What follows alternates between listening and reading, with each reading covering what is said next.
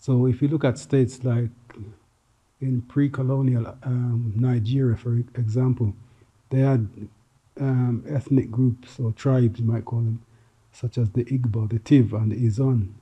These were societies which didn't have a specific leader, but what they had were clans and groups of clans. Groups of, of clans would make up the tribe, and the decision-making processes they would come together as a clan, and the clan heads would decide on the way forward in whatever matter that it might be. And this is also a similar situation in North America before the Europeans arrived. There are many, quite a number of tribes which were what you we would call stateless societies. These are societies without a specific leader. And the clans again would come together to make um, group decisions about the tribe. And it's one of the issues that um, disturbed the colonialists when they entered Africa, particularly regions like Nigeria, when they wanted to negotiate or um, talk with a particular tribe.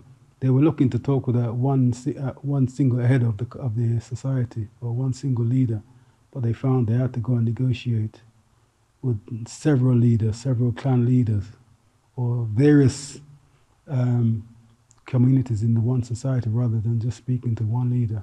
So what they did in future, in fact, later on was in the during colonial periods, when the, after they had colonized the regions, is create leaders in their society. So what you might find now, where certain tribes or cultural groups on the continent, uh, prior before didn't have a leader, now they seem to have leaders, seem to have a king or a chief, whereas in pre-colonial times, those societies didn't have a particular leader.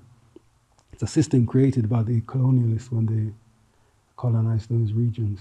This concept that um, a state without a specific leader is not a properly organized state is one of the notions that um, Europeans have, not just on a state level, but on the international level.